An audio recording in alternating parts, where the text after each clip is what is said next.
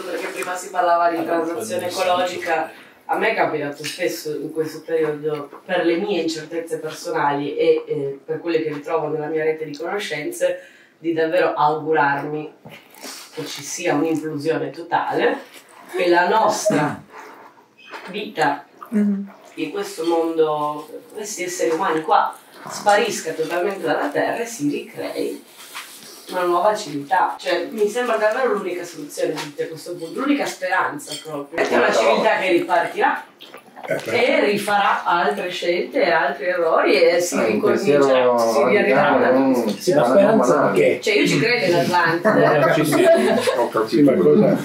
Dobbiamo sperare Sì, questo. no, perché Speranza dovrebbe essere una speranza? La speranza è che siccome davvero si è arrivati a un punto limite quasi non ritorno, di, di impossibilità Ma a, tanto ci arriviamo. a, a risolvere, a risollevare. Eh, Eh, io non però su vale no, accettiamo che è finita, è finita. Quindi la No, no, speranza no, per chi no. arriverà, Eh, non per certo, noi. Cioè la sopravvivenza della La specie speranza per la- contro per la Terra, per il globo terrestre. Si fa generazione, asteroidi, cioè. insomma. Ma io non capivo Però- quale punto limite siamo arrivati.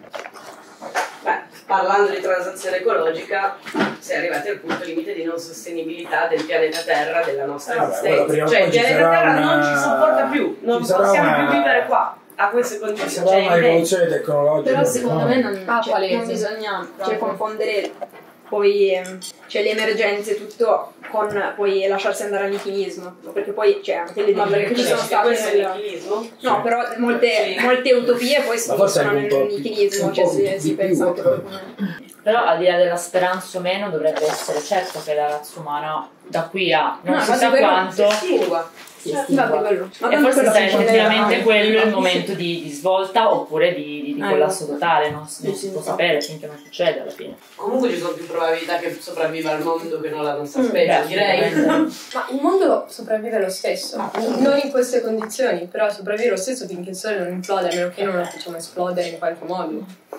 Ok, Certo. sì.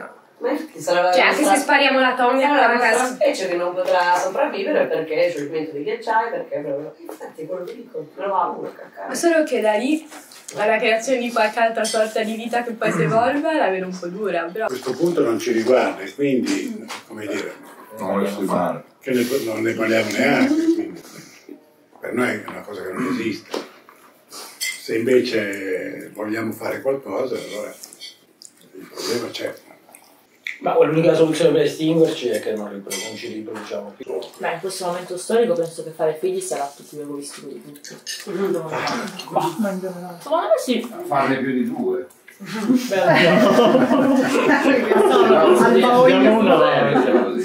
Questo non lo so, è un atto Alla fine della fitta. Secondo me non fatta, Aveva ragione. va fatta una distinzione. Un atto egoistico non vuol dire un atto negativo. Un atto ego- egoistico vuol dire qualcosa che parte da, da te, da- dalla persona, ma non necessariamente qualcosa di negativo. Fare figli in questo momento è un atto egoistico, magari un bellissimo atto egoistico, però è un atto che cioè, tu nel tuo singolo decidi di mettere una persona nel mondo che magari avrà una vita di merda oggettivamente, per una questione climatica, una questione economica, una questione, tutte le questioni del mondo.